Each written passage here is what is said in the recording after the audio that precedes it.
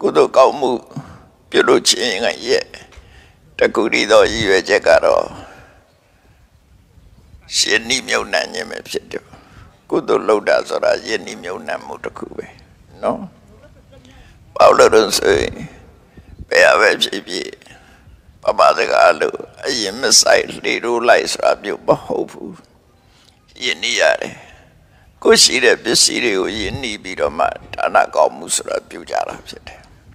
အဲ့ဒီလိုဒါနကောင်းမှုပြုတာဟာ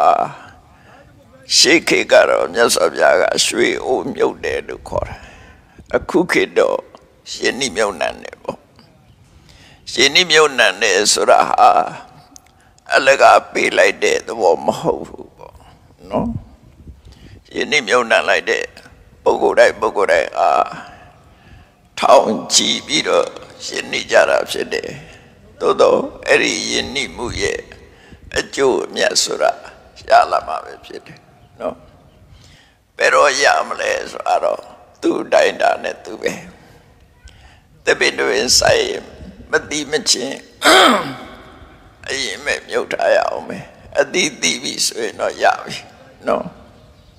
တမိတ်ရဲ့နောက်မှပဲစောင့်ရမှာ အခုရင်အခုရတယ်ဆိုတာမရှိဘူးသို့တော့မြတ်စွာဘုရားဟောတာတဲ့တခုမှတ်စရာကတော့အလှပြုတယ်ဆိုတဲ့အချိန်လေးမှာဝန္တာပိတိဖြစ်ရတာတော့အခုလို့အခုရတဲ့အကျိုးလို့ပြောတယ်နော်ပေါ့လို့ဆိုရင်ဝန္တာရာဆိုပြီးဘယ်လိုဝန္တာရာချင်းကမတူကြဘူးအပြောပါနဲ့ဝန္တာရာလားနော် ကိုအကြောင်းတစ်ခုကြောင့်ဝန္တာရာလားအခုဝန္တာမှုကစွန့်လွတ်ပြီးတော့ရတဲ့ဝန္တာမှုကိုပစ္စည်းတွေကုန်သွားတော့လည်းပဲကုန်သွားတာကိုဝမ်းသာရတယ်ဝမ်းသာမှုရာယူရတဲ့ဝမ်းသာမှုကတစ်မျိုးပေးလိုက်ရတဲ့ဝမ်းသာမှုကတစ်မျိုးနှစ်မျိုးရှိတယ်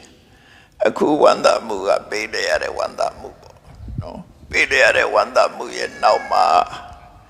ကြောင်းကြတာတို့ဘာလို့မရှိတော့ယူလိုက်တာရဲ့နောက်မှာကျတော့ကြောင်းကြမှုတွေရှိလာတယ်ရတာတဲ့ပစ္စည်းနဲ့ပတ်သက်ပြီးကြောင်းကြမှုရှိလာပေးလိုက်ရတဲ့နောက်မှတော့ကိုယ်မှလွတ်လပ်ပေါ်ပါသွားတဲ့အနေထားပြုရတယ်အကောင်ထဲရှိတဲ့ပစ္စည်းနဲ့အကောင်ထဲမရှိတဲ့အရာဝတ္ထုတခုလဲလဲလိုက်တာဖြစ်တယ်နော် အဲ့ဒီလဲလိုက်ခြင်းအကျိုးကိုတော့မြတ်စွာဘုရားဟောတာကိုယုံကြည်လက်ခံပြီးတော့လုပ်ကြတယ်